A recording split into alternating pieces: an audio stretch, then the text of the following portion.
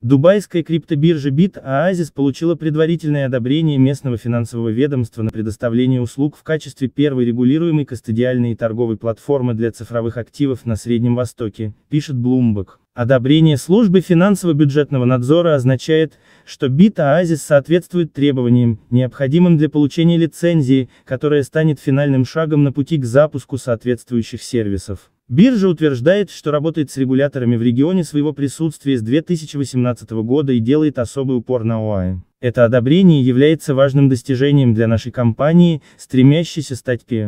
Полный текст читайте на сайте cryptofans.ru, ссылка на новость доступна в тексте под видео.